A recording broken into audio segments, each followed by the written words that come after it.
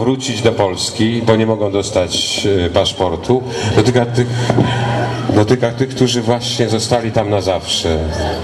Po wywózkach, po rozstrzelaniach. Nie wiadomo, gdzie się gdzie są teraz, nikt nawet nie wie z nas, nie może odnaleźć, nie wie gdzie są. E, No właśnie, tu jest też śliczna gwiazdą Kazachstanu. E, No i jeszcze raz wracamy do naszego.